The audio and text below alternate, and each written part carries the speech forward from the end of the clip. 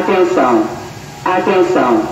A Defesa Civil informa a possibilidade de chuvas fortes nas próximas horas.